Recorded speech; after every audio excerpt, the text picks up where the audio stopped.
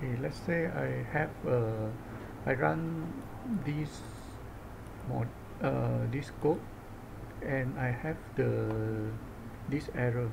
This error is due to uh, because I have Chinese word here and uh, the the compiler cannot compile the uh, this code because of this Chinese character.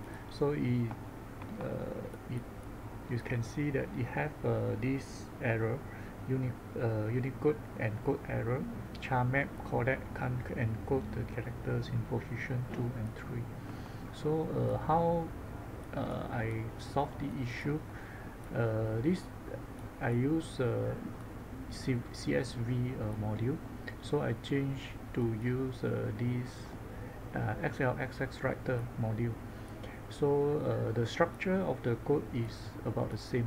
The purpose is to uh, write the data to the uh, Excel.